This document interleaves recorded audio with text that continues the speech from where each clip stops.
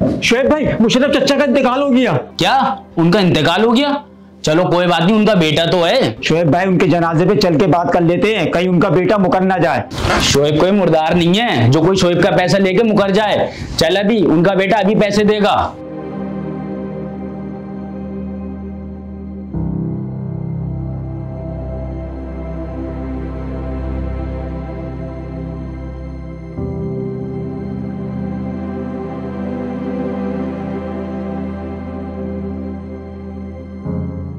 देखो भाई जनाजा उठने से पहले मेरी एक बात सुन लो।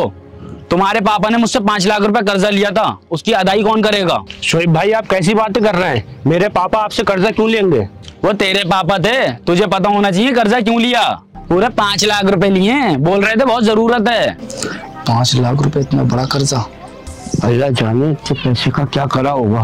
पूरे पाँच लाख रुपए ये तो मर गए कौन देगा? अरे शोएब भाई मैं इतने पैसे कहाँ से दूँगा आपको? कहीं पापा ने बताया ही नहीं आपसे इतने पैसे ले रखे हैं। अगर तू ये पैसे नहीं देगा तो ये जनाजा भी नहीं उठेगा। अगर मैंने हकीकत बता दी तो बहुत बुरा फंसूँगा मैं। क्योंकि कसूरवार ये नहीं मैं हूँ।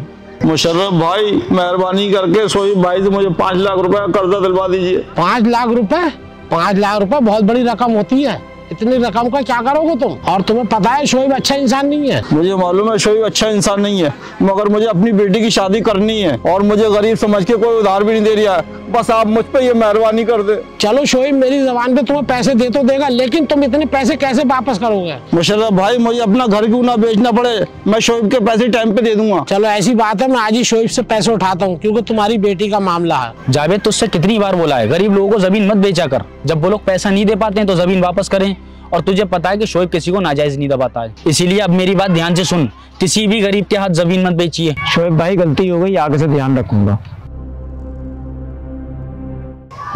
अस्सलाम वालेकुम शोएब भाई। वालेकुम अस्सलाम चचा। सब खैरियत तो है? आज हमारे पास कैसे आना हुआ? मुझे आपसे पाँच लाख रुपए उधार चाहिए थे क्या आप मुझे दे सकते हो? चचा पैसों का मसला नहीं है। पैसे आप ले लो लेकिन पैसे वक्त पे लौटा देना। आप जानते हो शोएब किसी को नाजायज नहीं दबाता। आप फ़िक्र ना करें मैं जबान का पाबंद रहूँगा। जावेद इन्हें पाँच लाख रुपए दे देना। ये लो रईस पाँच लाख रुपए। जाओ जल्द से जल्द शादी की तैयारी करो। बहुत बहुत शुक्रिया मुशर्रफ भाई। अल्लाह तुम्हें खुश रखे लेकिन ये ध्यान रखना ये चार महीने में कर्जा लौटालना है तुम्हें। अल्लाह जाने तेरी शादी जाने कैसे निपटेगी। माँ फ़िक्र मत करो सब निबट जाएगा। ये लोग पैसों का इंतज़ाम हो गया आप जल्दी शादी की तैयारी करो। ये अल्लाह तेरा लाख लाख शुक्र है।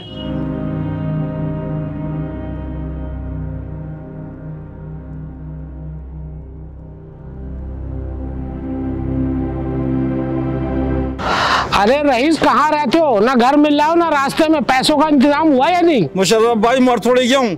मजदूरी करके पैसे इकट्ठे कर रही हूँ। जब मन करेगा दे दूँगा मैं। अच्छा जब तुम्हारा मन करेगा तब पैसे दोगे। मैंने बहुत बड़ी गलती करी तुम्हें पैसे दिला के। खुदा के लिए मेरा कुछ ख्याल करो मैं बीमार रहता हूँ। तो मेरा भी कुछ ख्याल करो मैं मजदूर इंसान हूँ।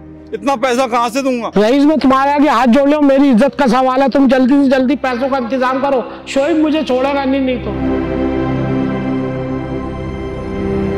लगता है तू मेरे पैसे ऐसे वापस नहीं करेगा। शोएब भाई आपके पैसे मैं दूँगा क्योंकि कसूरवार ये नहीं मैं हूँ। तुम्हारी औकात है पैसे देने की और पैसे तुम क्यों दोगे जब इनका बेटा मौजूद है? बात औकात की नहीं शोएब भाई एहसास की है। और जो आपसे मुशर्रफ भाई ने कर्ज लिया था वो मैंने बोला था क्योंकि मेरी बेटी की शादी थी। शोएब भाई लड़कों वाले ने दहेज मांगा था मुझसे।